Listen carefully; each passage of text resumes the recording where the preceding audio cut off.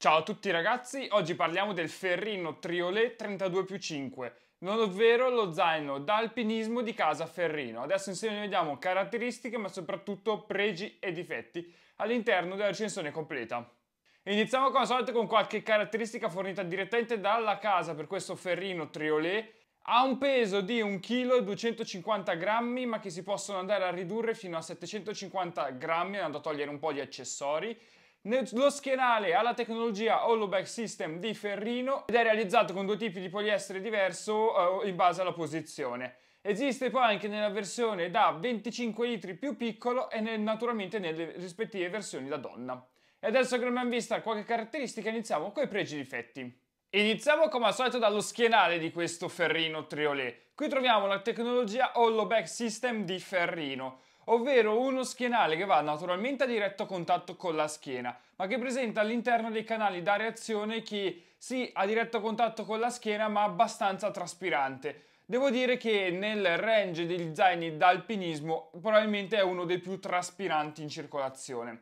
Uno schienale poi che andando a diretto contatto con la schiena fa sì che il carico sia sempre ben bilanciato, eh, lo zaino non balla, non ci dà fastidio, anche con grossi carichi eh, nella parte superiore non abbiamo problemi alla schiena. Devo dire che davvero come schienale è fatto veramente molto molto bene.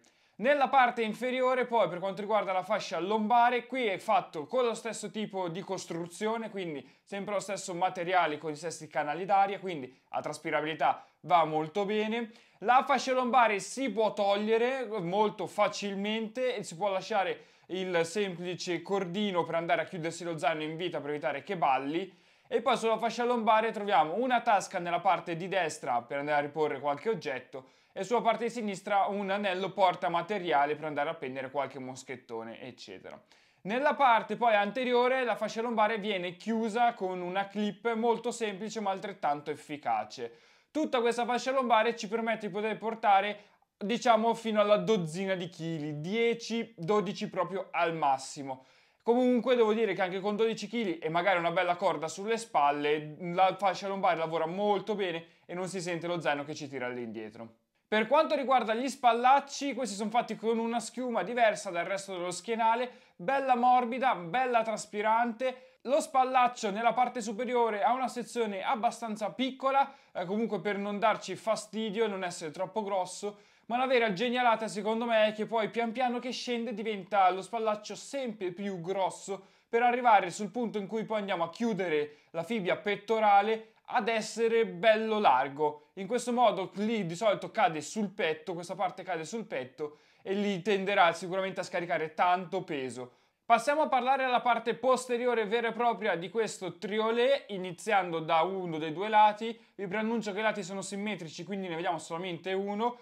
Cosa troviamo? Troviamo due cinghie per andare a stringere lo zaino, una nella parte inferiore e una nella parte superiore. Quella inferiore non apribile, quella superiore invece è apribile con clip. Ma la parte secondo me più geniale è la tasca a soffietto che è stata messa a metà tra queste due cinghie. Una tasca che possiamo portarci benissimo una borraccia, dei guanti, comunque qualcosa che dobbiamo portare con noi, ma all'occorrenza dobbiamo passare per dei canali molto stretti, abbiamo paura che possa strusciare, darci fastidio su, della, su delle pareti, possiamo benissimo andare a togliere gli oggetti e la tasca essendo soffietto andrà a rientrare e sarà come non averla. Quindi veramente una tasca studiata molto molto bene. E poi naturalmente nella parte esterna qua possiamo andare a portare anche degli sci, eh, uno a destra e uno a sinistra. Infine per quanto riguarda la parte laterale, sull'estremità delle due fibbie troviamo anche dei passanti per andare ad aggiungere dei cordini dati in dotazioni per poter portare nella parte posteriore il materiale aggiuntivo.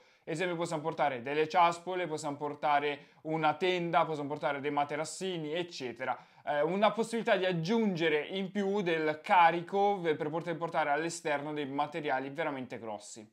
Passando alla parte posteriore vera e propria, beh, innanzitutto sono sicuro che avrete già visto questa lunghissima cerniera.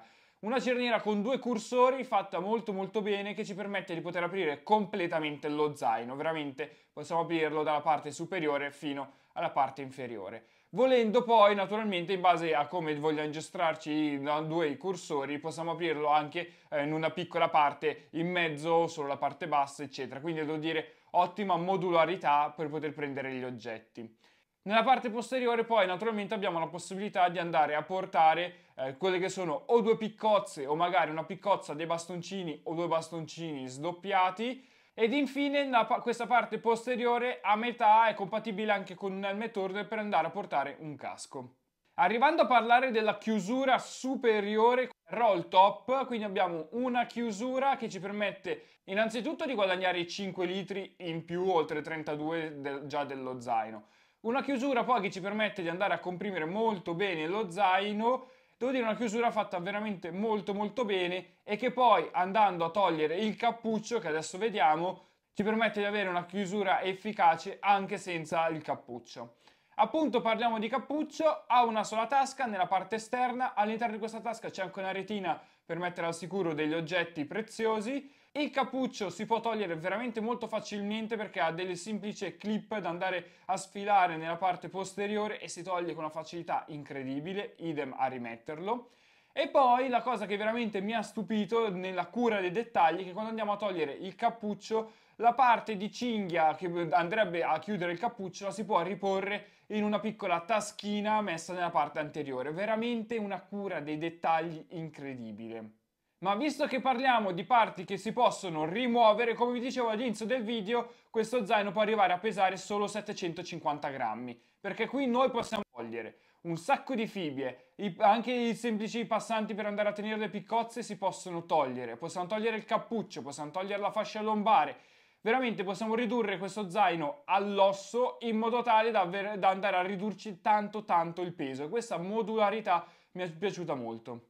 Una chicca poi non da poco è che quando andiamo a togliere il cappuccio abbiamo anche una piccola taschina messa proprio all'interno dello zaino per poter andare a riporci le chiavi o comunque quegli accessori piccolini che di solito andremo a mettere all'interno del cappuccio. Devo dire veramente una chicca molto ben studiata perché senza il cappuccio se no non sapremmo dove metterli.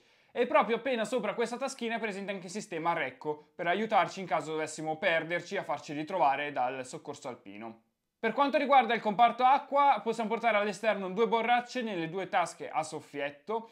All'interno abbiamo sia la possibilità di portare una vescica con, la possibilità di far uscire la prunga sul davanti, sia la possibilità di portare eh, pala e sonda. Non abbiamo naturalmente un rain cover perché è uno zaino d'alpinismo, ma il materiale comunque è un pochino idrorepellente in caso dovessimo prendere una leggera nevicata, il materiale all'interno non si bagnerà. Arriviamo dunque alle conclusioni per questo Ferrino Triolet da 32 più 5 litri. Viene venduto da Ferrina a un prezzo di 160 euro, online si trova attorno ai 130. Ve lo consiglio? Sì, sì perché secondo me è un ottimo zaino sia nei materiali sia nelle funzionalità. Soprattutto le funzionalità mi hanno stupito perché eh, abbiamo uno zaino completamente modulabile in base al tipo di attività che dobbiamo andare a fare.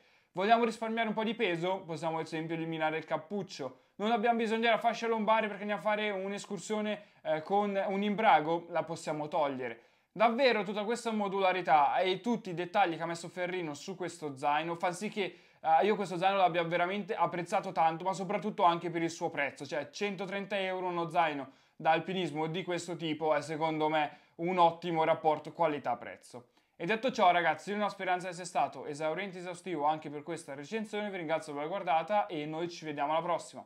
Ciao!